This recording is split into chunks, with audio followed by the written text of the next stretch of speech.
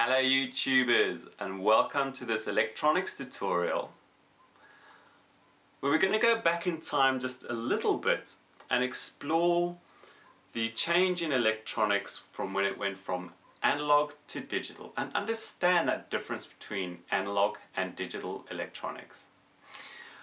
Now then, before we jump into kind of understanding the, uh, the difference between analog and digital electronics, and the reason I want to cover off analog to digital electronics is because in the electronics tutorial series now, we're about to take that step from kind of working with the basic fundamentals of electronics and now going into understanding electronic components. And in that process, we're going to start talking about diodes and transistors and flip-flops and ICs. And that's where there is that fundamental change into modern electronics today. And it's made a dramatic change in our lives in terms of household appliances and, and electronic devices. So I thought it would be good to have a discussion about that, to have a nice understanding before we go and start talking about individual components. Now again, so what I'd like to say, first of all, I know this video is not going to be short. I, I do believe that by having a proper talk, I'm going to try and present you with some stories, some of them just historical facts about electronics, some that relate to me. Through these stories, it's hopefully going to create images and pictures in your mind It'll hopefully also spark an interest and be a catalyst for you to go and do, perhaps dig and do a little more research into the bits and pieces I'm going to tell you. What I will be doing, as I said, the, the few bits and pieces that I will be talking about, I'm going to put a link below as well to my forum where I'll have link, links to the articles that I might be referring to and where you can go and have further discussion on this topic and all the tutorials that I'm doing. Right, so let's jump in. So before we are going to end up um, on the bench, I'm going to have a piece of paper and start trying to give you a representation of uh, analog versus digital electronics. But I thought I'd just run through a few bits and pieces historically and then in terms of how digital electronics has affected my life. So first of all, digital electronics probably started, the breakthrough in digital electronics probably started in the 30s, 1930s and the 1940s. And in particular with the invention of the transistor in 1947. And in that same year, the ENIAC computer, the first electronic digital computer was produced. Now I say electronic digital computer because there are analog computers and there are, are mechanical digital computers. So this, the ENIAC was one of the world's first digital computers and it was funded by the US Army and it was produced to help create artillery tables for firing artillery shells obviously. So what I want to do is actually just read you a little bit of background about that because it just goes to show the kind of what the state of electronics and digital electronics at the start in the 1940s to where they are now. So that ENIAC, and, and ENIAC stands for Electronic Numerical Integrator and Computer. And I say it was funded by the uh, US Army uh, it cost at the time about half a million dollars. In today's money that would be about six million dollars today and it was a huge device. I'll just quickly give you a description. It was a modular computer, believe it or not. It, it had 17,468 vacuum tubes. 7,200 crystal diodes, 1,500 relays, 70,000 resistors, 10,000 capacitors, about 5 million hand soldered joints. It weighed about between 27 and 30 tons. It was roughly 8 by 3 by 100 feet. It took 1,800 square feet and it consumed about 150 kilowatt of power. So it was quite a beast. So one of the brilliant things also about that ENIAC computer is that it had flip-flops. So what are flip-flops? And this is something we will cover off later as well. A flip-flop is a piece of electronics which can maintain a state of either a high voltage or a low voltage to represent a 1 or a 0 and because you could it can maintain that state you could set it logically to either be high or low and flip-flop between the two values. That became memory. So even back in the 30s and 40s when the, when digital computers were invented they obviously had memory to store the data that they were working with so that is something that we'll also cover off. Times have changed in terms of uh, when that was created, but the big change has been that swing from digital electronics and manage managing to get electronics smaller into small packages and what have you. And that is what this course is going to be all about. So what I wanted to give you an introduction to is potentially how um, digital electronics has affected the world and me. One quick way is like in communications. I mean, if you think of early days of radio communication, that was analog. There was an analog voice being broadcast in an analog way across the airwaves and being received and coming out through a speaker. And that was great, but of course, what could happen? Atmospheric conditions could affect that. You could get static and noise. So what was the first real form of digital communications? Morse code. Now, this Morse key, I do believe, was uh, my grandfather's. My grandfather used to be a radio operator in the war.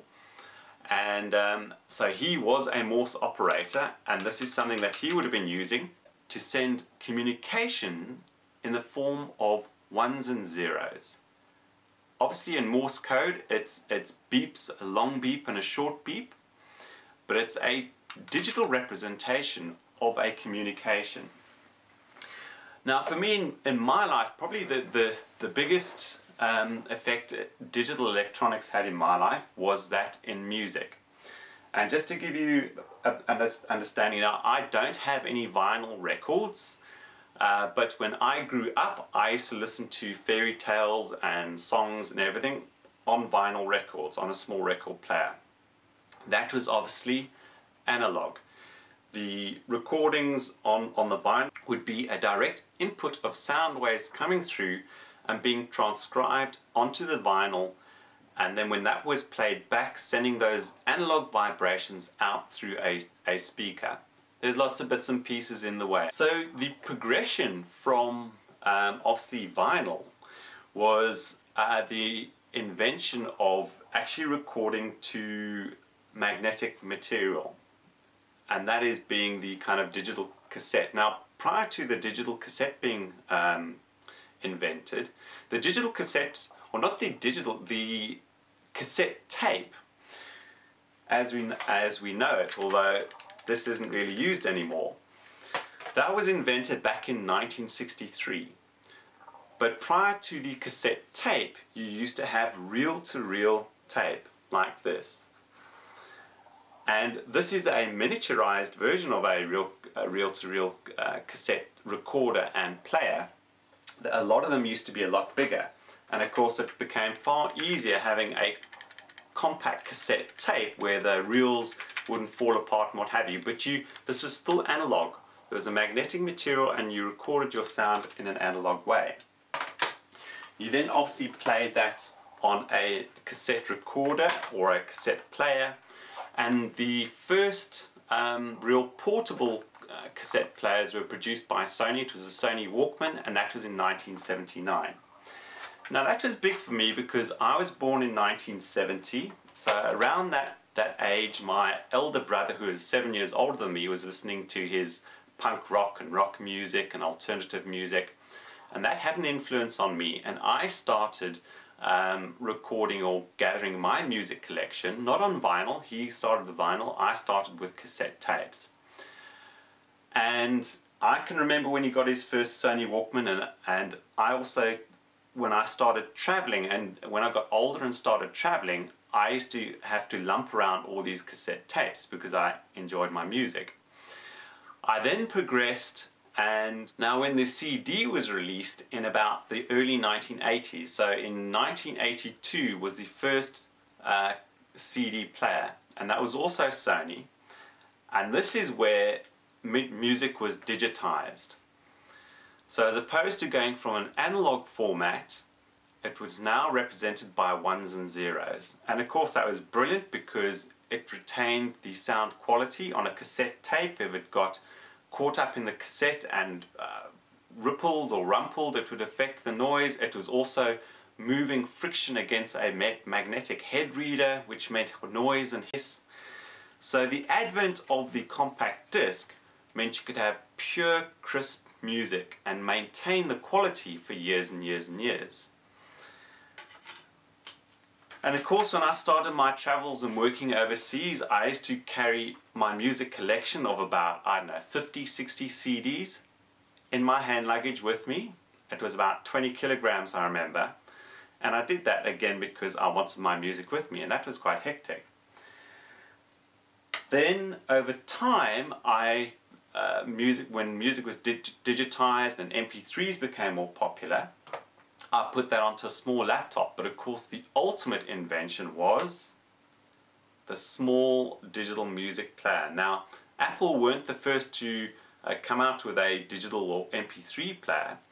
Um, this is a one of the first or second generation iPods and I got this in 2001 and of course this was just a remarkable breakthrough from lugging around 20 kilograms of CDs in a big bag to simply hanging this around. And of course now, even this would be is a big player. Your telephone, which has multiple functions, can now hold your whole music collection.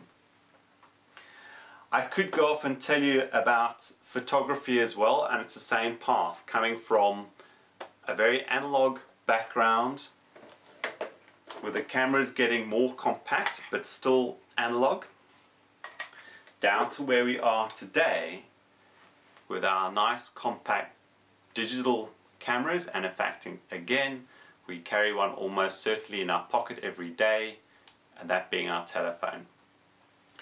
So the, the transition from analog to digital electronics has, has had a huge effect on our lives in terms of making things smaller and maintaining the integrity of the information.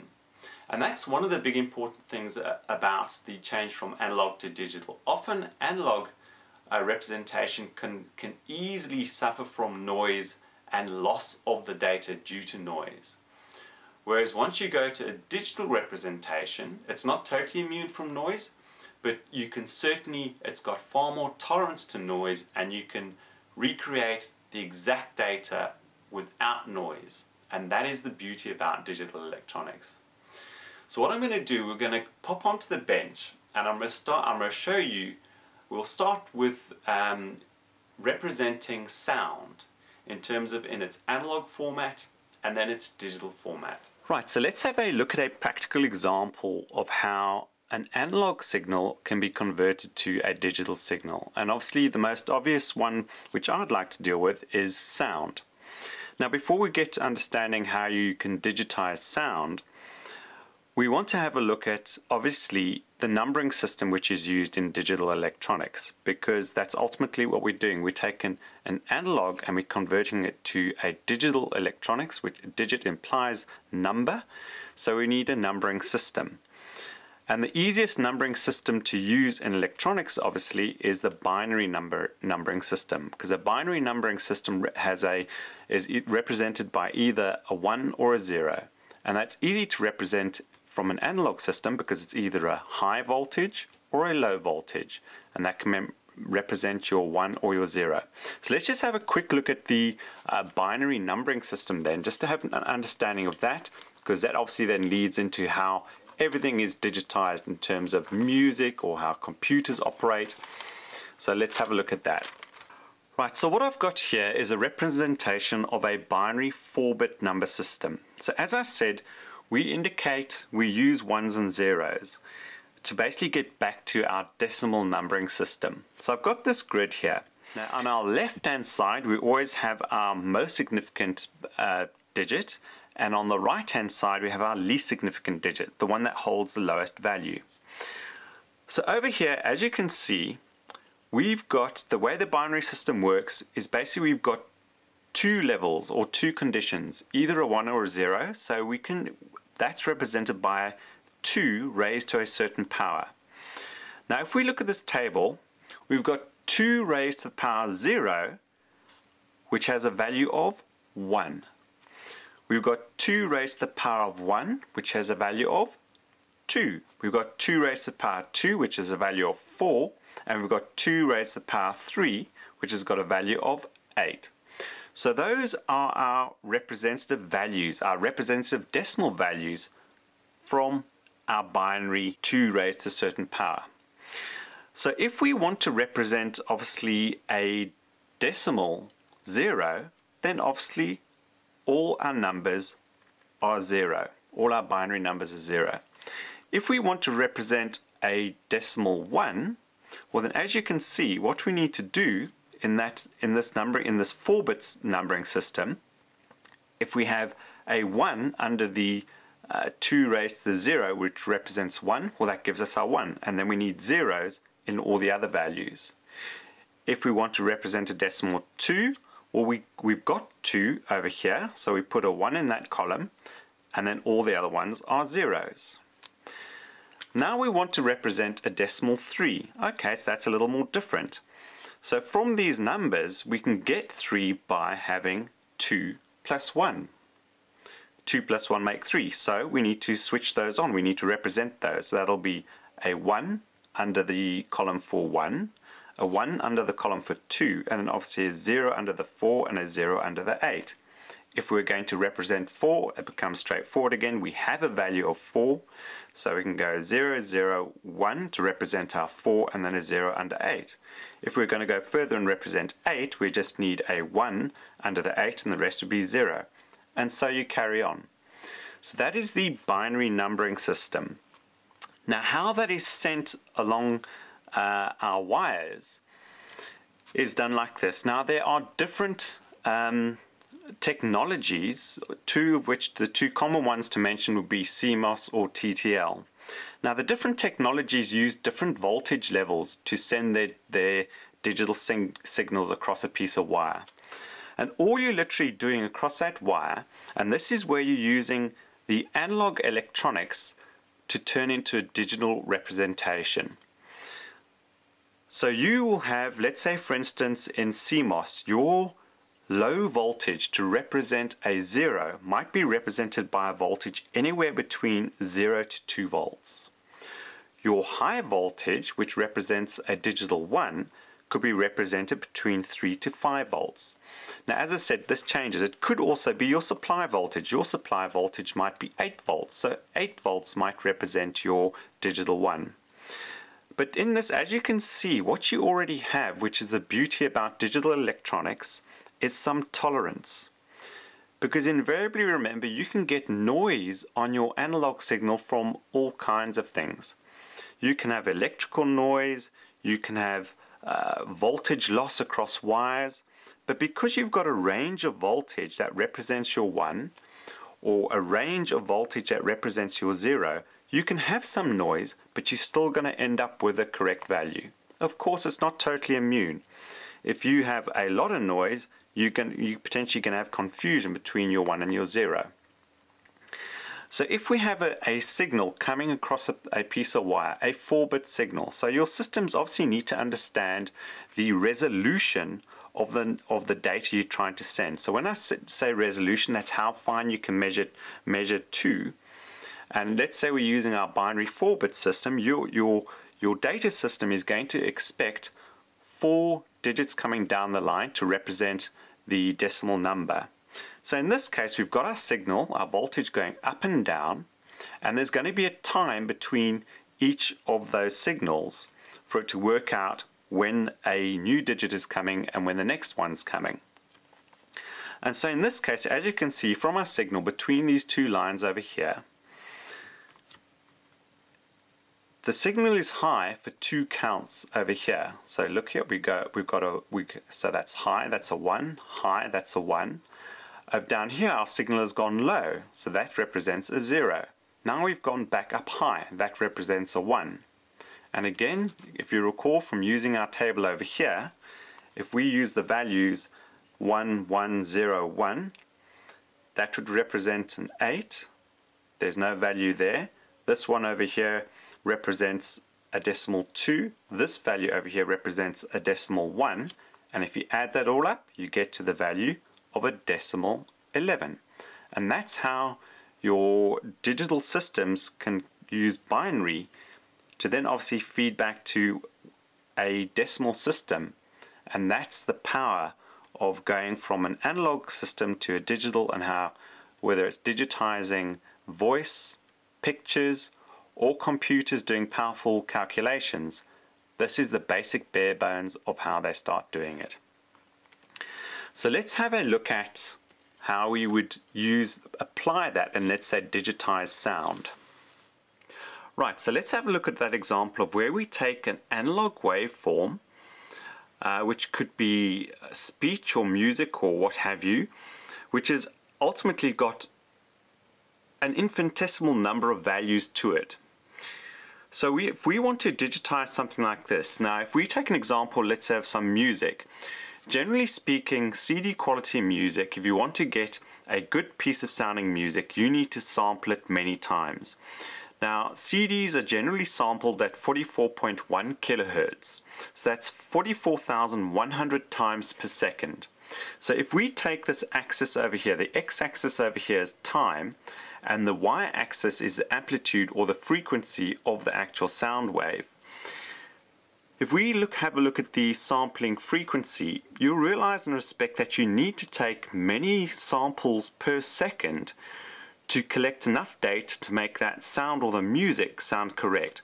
If you are only taking one sample every second, let's say, you can imagine your words and your music is going to be interrupted by these blank uh, spaces, which doesn't make any sense at all.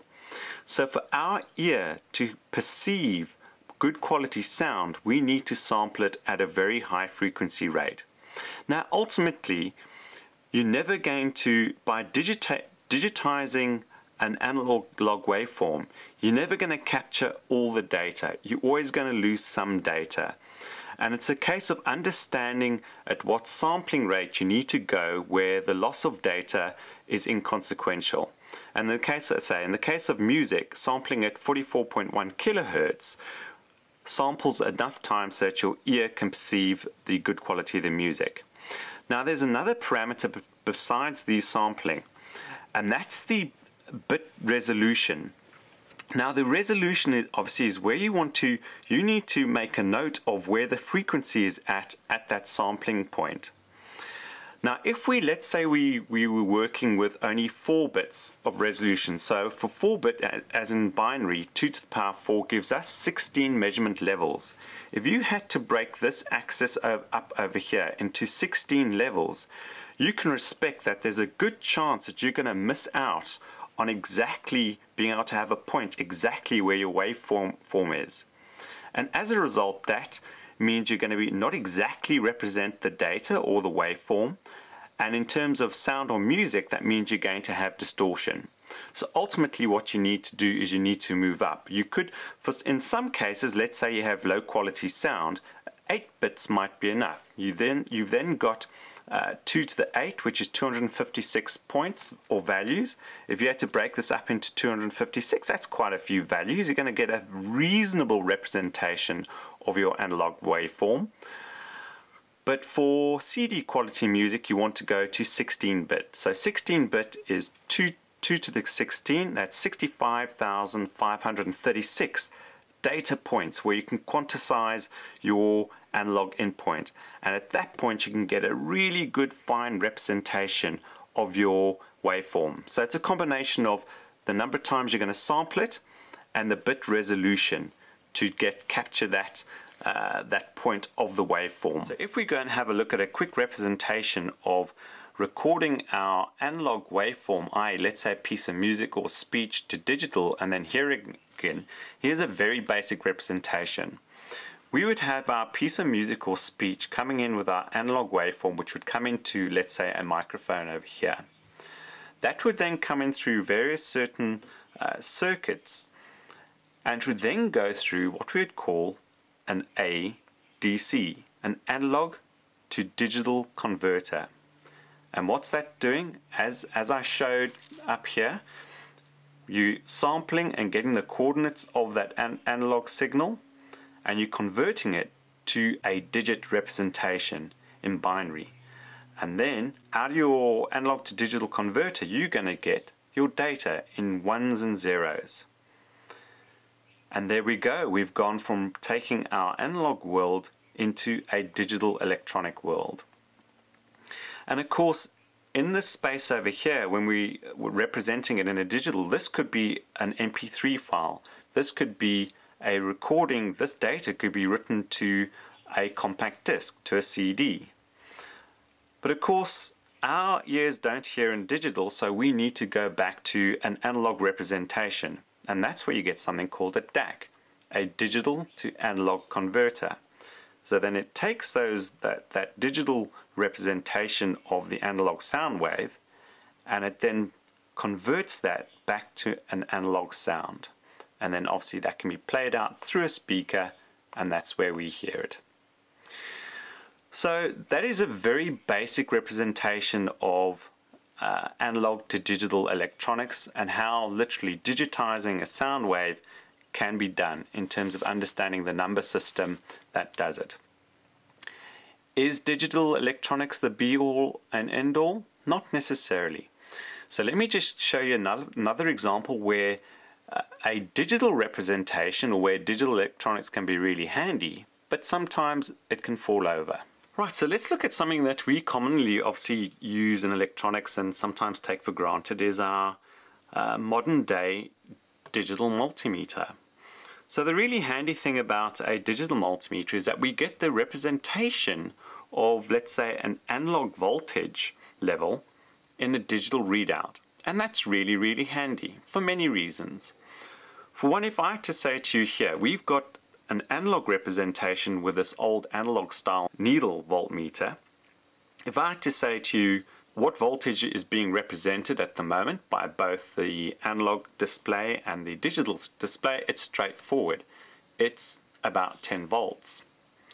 But what if I go and change things up a little bit like that and I said to you, quickly tell me what voltage is being displayed here and here. Well, it's very quick and easy to have a look at the digital voltmeter and say, right, we've got 13.3 volts because you're going to have to look carefully on the analog meter to see where the needle's sitting. And you can certainly get an, an error called something called parallax, which is the angle you're looking at the needle to the markings on the uh, paper underneath. And if you don't look at it correctly, depending on the angle, you can take a misreading. But of course, on a digital representation of that, it's a piece of cake. Go up again, we do the same thing. And the beauty here is that we can also read to, depending on the resolution you've got, you can really read down to a certain number of digits, whereas it's a little bit difficult to do that on an analog display. But the truth is, is that the analog display has got a far better resolution than the digital mul multimeter.